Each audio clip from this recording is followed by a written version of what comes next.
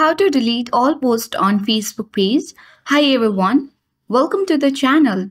In this quick tutorial video, I'm here to guide you on how to delete all posts on Facebook page. So do watch the video till the end and don't forget to subscribe for more tech and tips videos. First of all, launch Facebook app on your device. Ensure to sign into your account.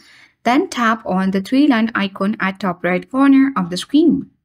So firstly, in order to delete all posts on Facebook page, you have to switch your Facebook account to Facebook page. For that, you can tap on the arrow at top right corner of the screen and here you will see different kinds of your, your account and the pages. You have to select the page where you want to delete all your posts on Facebook page.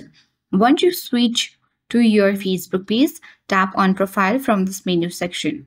And here you will easily get access to your page where you are the admin of. Now scroll down. As we already have selected post at top left corner of the screen.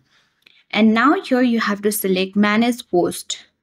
Here you will see different kinds of posts that you have posted on your Facebook page. You can also tap on filters at top left corner of the screen and you can sort by all the posts, scheduled, published or groups. For now, let's select published and tap on the down bottom. And you will see all your published posts. So in order to delete all posts on Facebook page, you can tap on three dots next to the Facebook post and now select the delete button. So if you are sure to delete this post, tap on the delete button and your post will be deleted on Facebook page. In the similar way, you can also do for the another one. Tap delete button and delete your Facebook post on your page. So that is it. It was quite easy. So thank you for watching and see you in the next video.